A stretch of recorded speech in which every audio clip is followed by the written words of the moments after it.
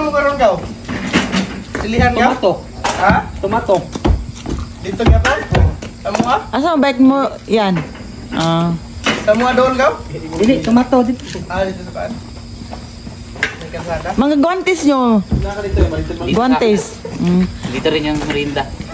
Yung bag mo, sayang yung kulay niyan pagdating ng panahon. Kaya, wag mo nang dadalhin yan. Ano ba meron dyan? Wala namang ano. Dali. Baon. Ba? Ah, baon pala. Yan, sayang ipangragis mo. Hala ka. Hala. Limpak. Bago pa yan. Saan na mo?